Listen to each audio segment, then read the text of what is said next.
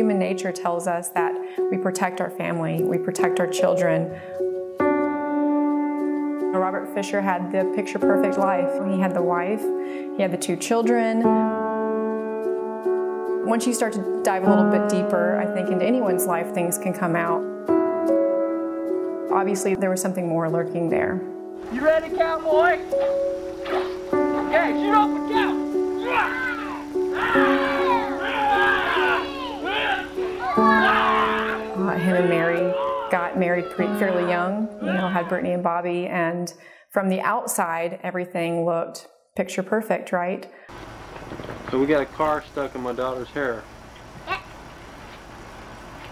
The victim is Brittany Jean Fisher, age five. All indications are that he was a family man, um, husband, father of two, owned dogs. He liked the outdoors. Just an average person, just an average Scottsdale resident.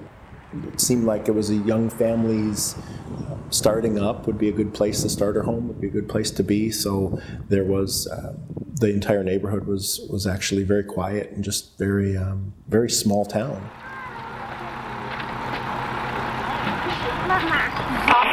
911 emergency.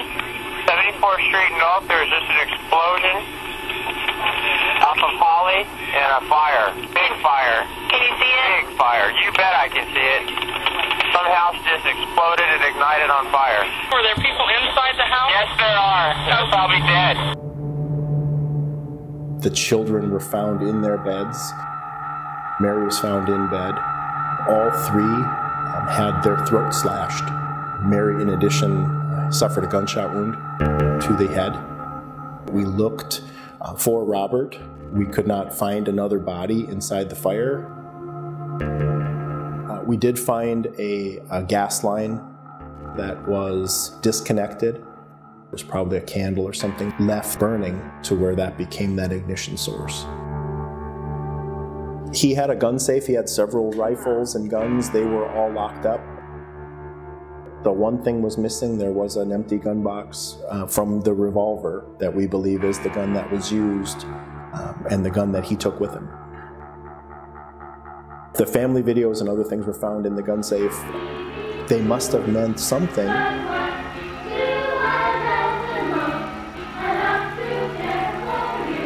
Who is that? Robert. Hi, Robert. Robert worked at the Mayo Clinic as a radiation tech. He had an outside uh, persona, like a work persona, as well as a home life that might have been different. We know around 10 p.m. there was probably um, a verbal fight, and then at 10:45 p.m. we see Mr. Fisher driving Mary's 4Runner in an ATM surveillance footage where he's taking out money. Um, he's wearing a, a, certain baseball cap. It looks like he had withdrawn uh, $280 from the ATM. Really, back then, that might have been the most he could take out at the time.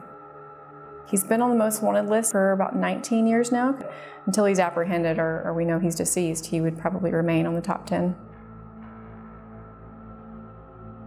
The working theory is that um, the murder had occurred prior to that, and that he had left from there to withdraw the money and then disappeared from that point. Um, it's possible that it worked in reverse, uh, but I think with the timing of the argument that the neighbor heard, uh, it makes better makes better sense as far as the timeline that it, that the murders occurred first. There could have been no one else. There was no other suspects or no other people involved in this. The next sighting that we had was on April 20th, and that was finding his 4Runner up near Young.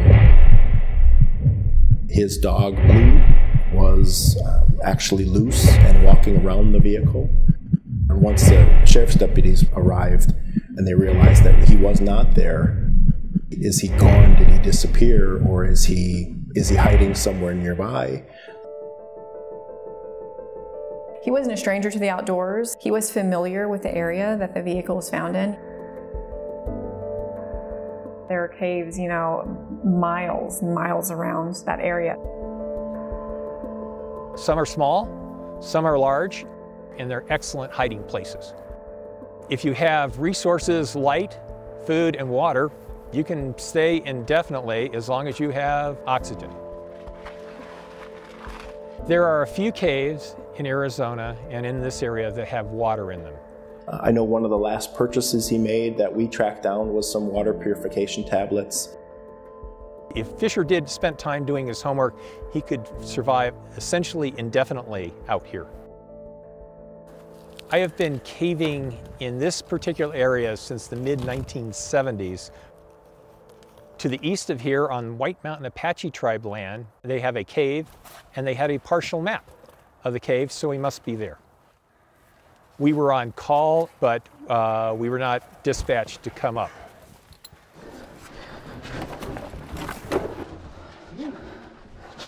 They had an incomplete map. We have remapped it and found a bunch more passage. If they had tried to go in, he would quite easily have been able to get off the map where they couldn't find him. We are right here now. We're down this slope here, going down here. We know he's armed and we, he knows what he did. Now there's an officer safety aspect to it. Is this going to end in, a, in gunfire? Is this going to end in a fight with him? So it became sort of a search, but it was also a tactical search to make sure that we locate where he is. That has several hundred feet of cave behind it. We were doing what we could with technology and we were using um, lights and as many cameras as we can, even um, even chemical munitions and things to try to um, to try to eliminate or say, is there somebody in here? Don't know that I would call him, you know, an, an, expert survivalist. And after talking to some of his family, you know, it was more of that he liked to recreate outdoors. They wouldn't necessarily describe him as a as an expert survivalist. We've already been down through the loop, through most of the passage, specifically looking for his stuff. No feces in here, uh, no clothing, no. Um, gosh, no evidence that anybody spent any time in here, no food containers. That whole scene is, is missing. If uh, we do another search in this area, this area is cleared. The other caves in the area are a different story. Were all of them searched? I'm not sure. Let's go, let's get out of here.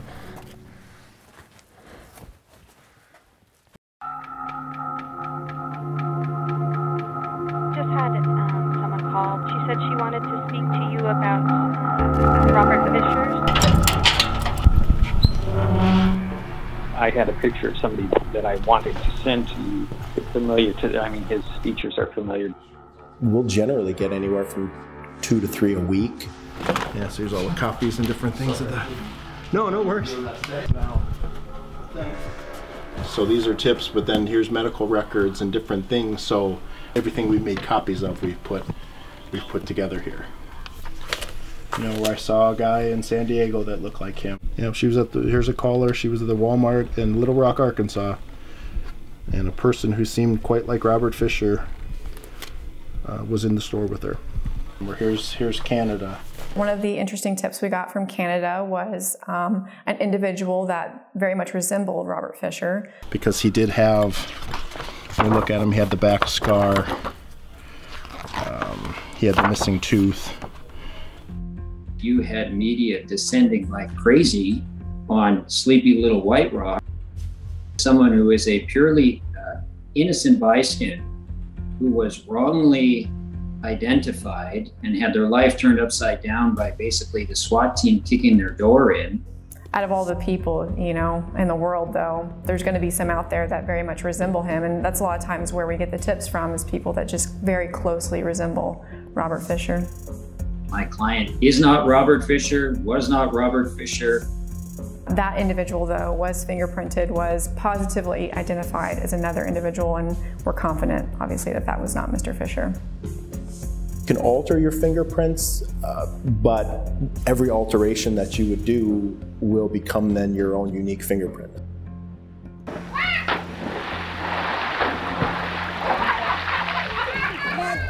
To find Robert's DNA or to use compare Robert's DNA to a person who we believe to be Robert Fisher. The concern that we have is we don't have a, a pure sample from him.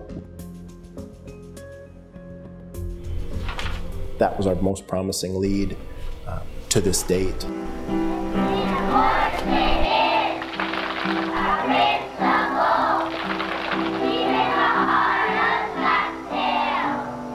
On Facebook, Robert Williams Fisher. I don't know if it's the same guy, but the, the face looks the same. We've not had a confirmed sighting of Robert Fisher where we can say, yes, that was definitely him. We're looking for a person who is now in his 60s. His physical appearance could be uh, dramatically changed. He could be anybody. He could be a farmhand working in a very small rural community. He could be a, a, an anonymous person waiting tables at a, in a big city somewhere else.